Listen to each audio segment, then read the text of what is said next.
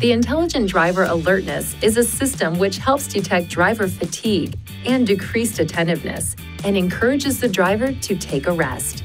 When the vehicle is traveling above 37 miles per hour for a period of time, the system monitors steering behavior to detect changes from the normal pattern.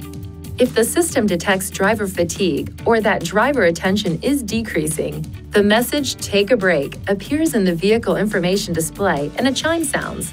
The system can provide multiple warnings per trip, but resets each time the power switch is cycled from on to off and back on. To enable or disable the system, use these controls to select settings driver assistance, then driver attention alert to toggle the system on or off.